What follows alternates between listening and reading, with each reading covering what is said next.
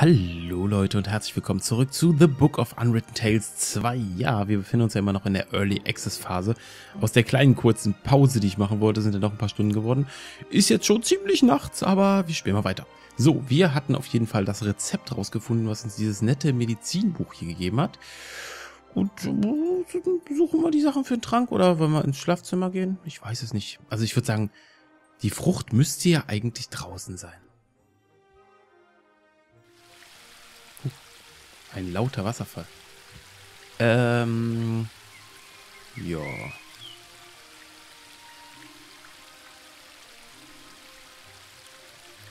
Ich würde sagen.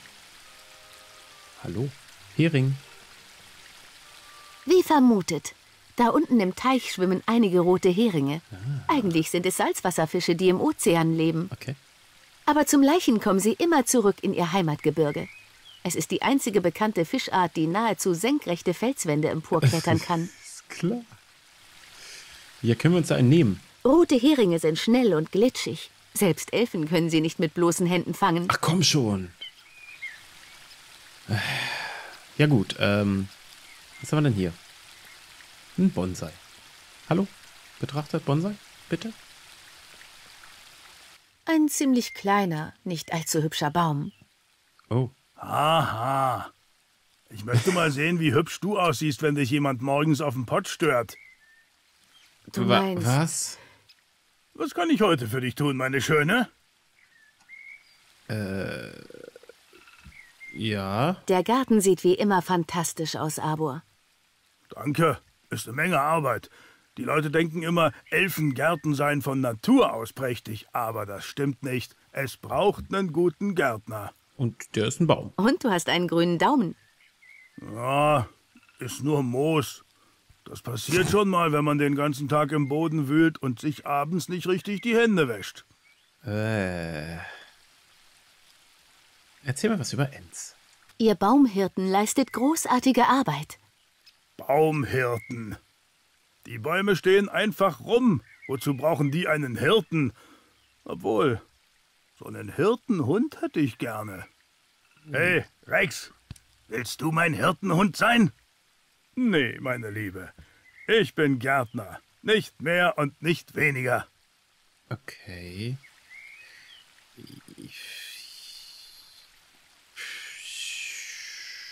Mutter hat mich heute Morgen auf Diät gesetzt, damit ich für meine Hochzeit perfekt aussehe.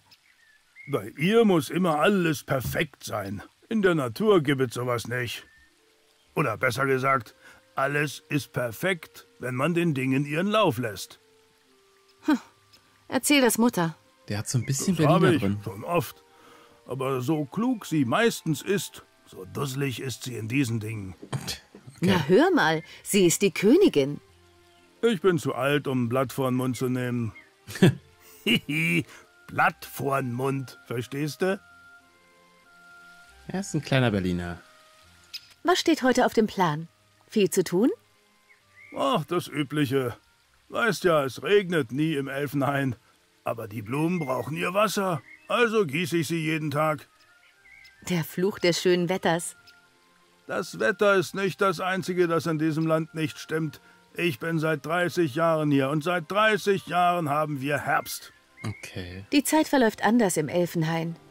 Langsamer. Und deswegen werden alle hier steinalt, schon klar. Aber hätten wir normales Wetter und die üblichen Jahreszeiten, gäbe es hier deutlich mehr Abwechslung. Aber nur Herbst muss doch auch echt ätzend sein. Du und Vater, ihr kommt gut miteinander aus, oder? Niemand versteht mehr von der Natur als er, das ist mal sicher. Aber trotzdem bitte ich ihn nicht oft um Hilfe. Vom Nachdenken wurde noch nie ein Feld umgegraben, wenn du verstehst, was ich meine. Wenn du Er verstehst. ist eben eher Theoretiker. Der Matsch an den Füßen, der Geruch frischer Erde, all die Freude und das Leben. Er verpasst doch alles, wenn er da oben rumsitzt und nichts tut. Ich muss weiter. Ja, ich habe auch einiges zu tun. Ich weiß einfach nicht, was der Pflanze da fehlt. Okay. Ja. Ach, gehen wir mal mit, okay. Deine Mutter hat vor ein paar Tagen einen Haufen Blumen von einer Feendelegation geschenkt bekommen. Sind alle gut angewachsen. Nur die hier nicht. Vielleicht braucht sie besondere Erde oder besonders viel oder besonders wenig Licht. Alles möglich. Wenn mir nicht bald was einfällt, muss ich deinen Vater fragen. Er kann mit ihr reden und sie sagt ihm vielleicht, was ihr fehlt. Okay. Wenn du hinaufgehst, wäre es nett, wenn du meiner Mutter nicht erzählen würdest, dass du mich hier draußen getroffen hast. Wieder mal ausgebüxt, was? Von mir erfährt niemand was. Ist ja nett von dir, danke. Was ist denn mit der Pflanze hier? Die Pflanze sieht tatsächlich nicht allzu gut aus. Es ist ungewöhnlich, dass Blumen in diesem Garten ihre Köpfe hängen lassen. Okay. Normalerweise blühen sie in unserer guten Erde und unter den kundigen Händen von Arbor ist so richtig auf. Was ist hiermit? Ich kenne nicht die Namen aller Pflanzen hier im Garten. Meine Großmutter kennt sie alle, was daran liegen dürfte, dass sie es war, die vielen Pflanzen vor Jahrtausenden ihren Namen überhaupt erst gegeben hat. Na super. Scheißbeerholz, Schwitztee, Schlotterblume, Fetthenne, Knöterich, Stinkwurzel. Wir laden sie nicht mehr zu Familienfesten ein.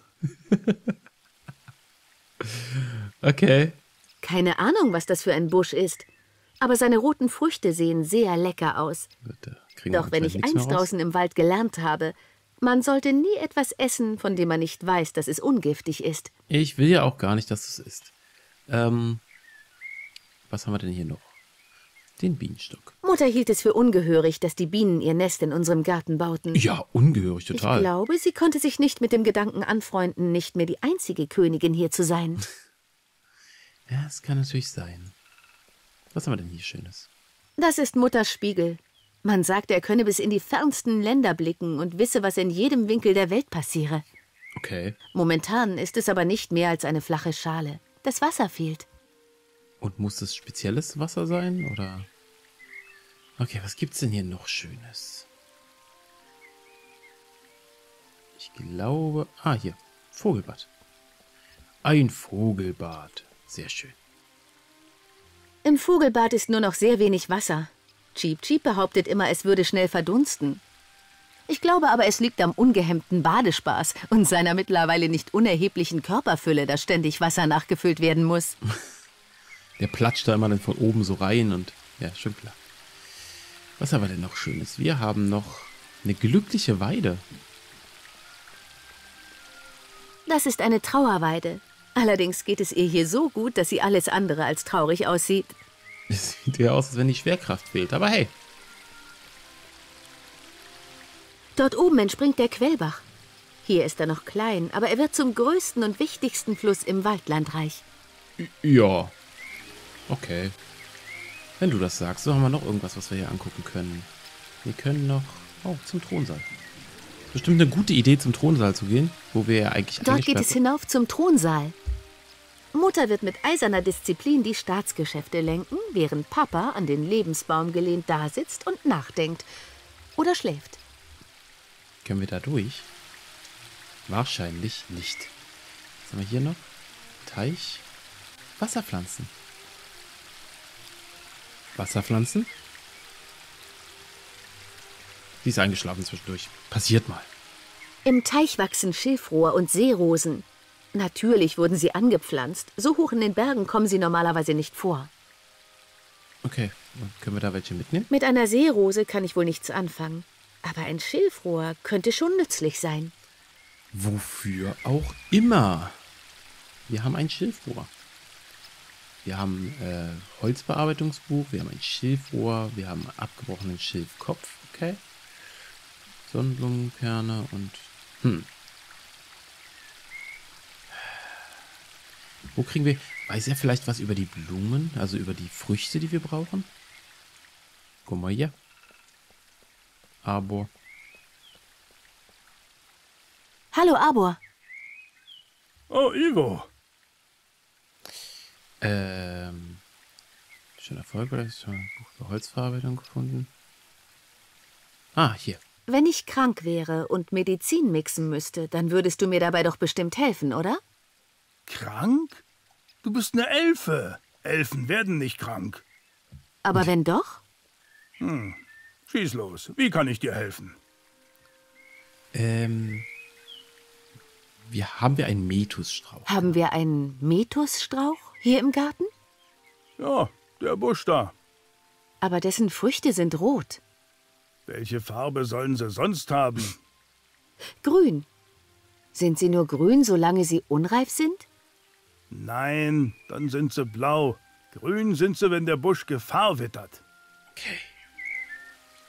Bitte? Der Metusstrauch hat äußerst leckere, süße Früchte. Aber wenn er glaubt, in Gefahr zu sein, werden sie grün und sehr sauer. Ist eine Art Verteidigungsmechanismus. Verstehe. und der Busch trägt rote Früchte, weil er hier nichts zu befürchten hat. So ist es. Und wenn ich jetzt vorhab, ihn zu verprügeln? Ähm. Ah, Honig. Hast du eine Idee, wie ich an Honig komme? Versuch's mal unten in der Küche. Ich würde lieber nicht durch das Schloss gehen. Ah, natürlich. Jemand würde es deiner Mutter erzählen. Ich habe spekuliert, ob mir das Bienennest dort am Baum weiterhelfen könnte. Da wäre ich vorsichtig. Die Bienen verteidigen ihren Honig und können schmerzhaft zustechen. Kann man sie nicht irgendwie ablenken oder austricksen? Imker tragen Schutzkleidung und benutzen Qualm, der die Bienen beruhigt. Aber ich habe keine Imkerausrüstung hier. Ich lasse den Bienen ihren Honig und sie bestäuben meine Blumen. So haben wir es schon immer gehalten. Okay, dann kein Honig. Oh, eine Angel. Ich sehe dich häufig angeln. Kannst du mir deine Angel leihen? Für den Fisch.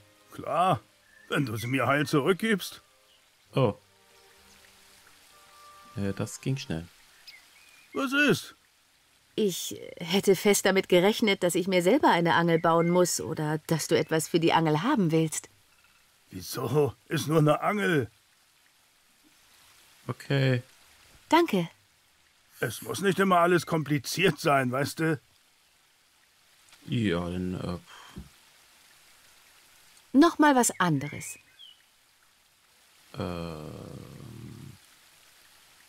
das Buch. Guck mal, ich habe dieses Buch in der Bibliothek gefunden. Holzverarbeitung? Wieso zeigst du mir sowas? Weil du im Baum bist. Äh, ich dachte, es interessiert dich vielleicht. Ich mag keine Horrorgeschichten. Horrorgeschichten? Holz, das in ein sich drehendes Monstrum geklemmt wird, um dann Schicht für Schicht bis zum Kern abgedrechselt zu werden? Wie nennst du sowas, hä? So habe ich das nie gesehen. Holzbearbeitung. Äste werden abgesägt, Bretter zusammengenagelt, Holz mit Chemikalien bestrichen. Krankes Zeug. Ah, okay. Weißt du inzwischen, was der Pflanze fehlt? Nein, noch immer nicht. Es sieht eigentlich alles gut aus. Die Erde ist feucht und nahrhaft, die Sonne scheint. Hm, ein schwieriger Fall. Eigentlich würde ich jetzt gerne erst mal meine Morgenpfeife rauchen, aber erst die Arbeit, dann das Vergnügen. Das äh, ist durchaus korrekt. Bis später, Abor. Bis dann. Tja, wie jagen wir den Busch jetzt? Wir können erstmal angeln. Wir haben eine Angel. Ich würde sagen, damit fangen wir mal an. Das sieht erstmal relativ einfach aus. Nein, hier lang bitte. Nicht äh, weggehen. Wir wollen angeln. Bitte. Angeln. Wir brauchen rote Heringe. Ich habe nicht viel Ahnung vom Angeln, aber ich kann ja mal mein Glück versuchen. Ja, klingt nach einem Plan. Angel Level 0. Wie vermutet, nichts. Allerdings, irgendwie habe ich das Gefühl, als wüsste ich nun etwas besser, was ich tue. Äh, ja. Okay. Ich schätze, dass ich einfach so lange üben kann, bis ich gut genug bin. Genau, das ist eine gute Idee. Vielleicht kriegen wir ja Angel Level 1000. So WoW-like. Wir können uns jetzt hier eine Stunde hinstellen und äh, nichts fangen. Oder aber ich versuche eine Abkürzung, indem ich woanders mehr über das Angeln lerne. Nö, nö, ich finde die Idee schon ganz gut. Oh, was ist denn das? Ein Klassiker. War das, sah, sah aus wie, keine Ahnung, eine kranke Ananas. Aber wir sind immerhin schon Level 3. Ein Klassiker. Level 4, komm. Nein, nein, nein, nein, nein. Hier, komm, angeln. Angeln. Angeln. Stell dich doch nicht so an hier. Nichts. Du bist echt begeistert von deiner Tätigkeit, oder?